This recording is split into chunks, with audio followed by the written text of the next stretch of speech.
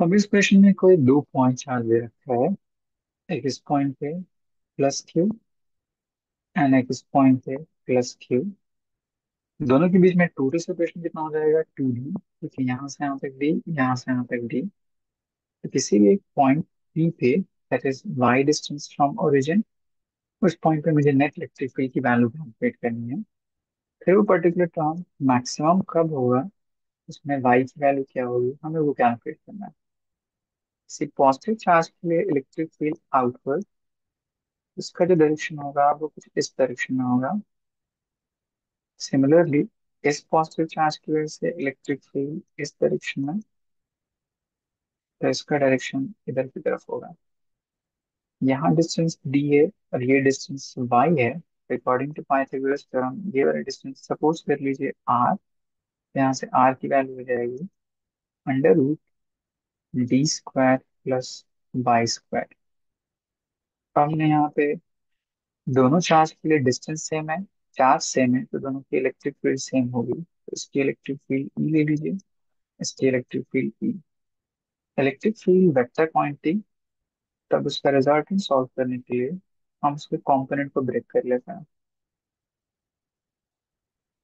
मान लीजिए ये एंगल थीटा है तो ये भी एंगल थीटा हो जाएगा। इसलिए इस ई का एक कंपोनेंट इस डायरेक्शन में ई cos थीटा इस डायरेक्शन में ई साइन थीटा सेम इसी तरह अगर मैं लेफ़्ट वाले चार्ज की वजह से देखूँ तो ये ई है तो ये एंगल हो जाएगा थीटा तो इस डायरेक्शन में component E cos theta and इस डायरेक्शन में हो जाएगा ई साइन थीटा ये साइन थीटा ये sine theta along X axis दोनों एक दूसरे के इफ़ेक्ट को कैंसिल आउट कर देगा। नेट फ़ील्ड सिर्फ़ वाई एक्सिस अलोंग दिखाई देगा यहाँ पे नेट फ़ील्ड इसकी वैल्यू आ जाएगी two times of E cos theta two times electric field का फॉर्मूला होता है K Q divide by separation R square cos theta की वैल्यू कैलकुलेट करते हैं, इस ट्रायंगल को यूज़ करके थीटा के adjacent y and hypotenuse r तो cos theta is base divide by hypotenuse अब r की वैल्यू पुट कर दीजिए ये टर्म तभी एक्सप्रेशन हो जाएगा two times K Q times y divide by D square plus Y square to the power three by two अब हमें कैलकुलेट करना है कि इलेक्ट्रिक फ़ील्ड की वैल्यू मैक्सिमम कब होगी? तो इसके लिए वाई की वैल्यू क्या होगी? तो एक रिलेशन होता है किसी भी फ़ंक्शन का मैक्सिमम या मिनिमम डिफाइन करने के लिए उसका डेरिवेटिव ज़ीरो होना चाहिए। उसको डिफरेंशिएट कर दीजिए। Differentiation of electric field with respect to Y and उसको ज़ीरो के साथ इक्वेट कर दीजिए। इस एक्सप्रेशन में टू के क्यू ये कांस्टेंट टर्म है।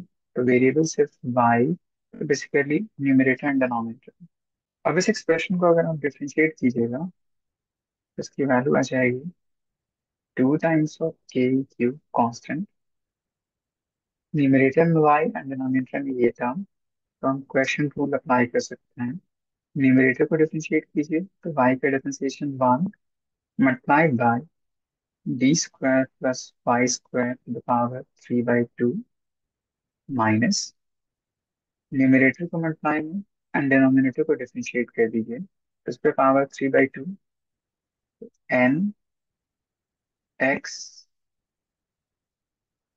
N minus one and then फिर इसको डिफरेंशिएट कीजिए। तो डी स्क्वायर का differentiation zero and Y square का differentiation two Y whole divide by denominator का स्क्वायर तो D square plus Y square उस पे क्यू इस पूरे टर्म की वैल्यू कितनी होनी चाहिए? ज़ीरो इसको सिंप्लीफाई कीजिएगा। तो ये कांस्टेंट टर्म ये टर्म उससे जाके ज़ीरो न्यूमरेटर से अगर मैं D square plus Y square to the power one by two common कर तो ये बच जाएगा D square plus Y square power one minus यहाँ पर जाएगा थ्री बाई टू तो ये टू एंड ये टू कैंसिल आउट तो Y into Y Y square three times is equal to zero अब यहाँ पे थ्री वाई स्क्वायर और यहाँ पे वाई स्क्वायर तो हो जाएगा two Y square is equal to D square तो Y square is equal to D square by two तो Y is equal to under root plus minus D Y root इस particular distance पे electric field की value maximum है और इस term की value अगर मैं इक्वेशन में पुट कर दूँ तो मैक्सिमम इलेक्ट्रिक फ़ील्ड की वैल्यू भी आ जाएगी। Therefore E max, इसकी वैल्यू होगी four times K divide by 3 root 3 times d squared. The maximum equality value.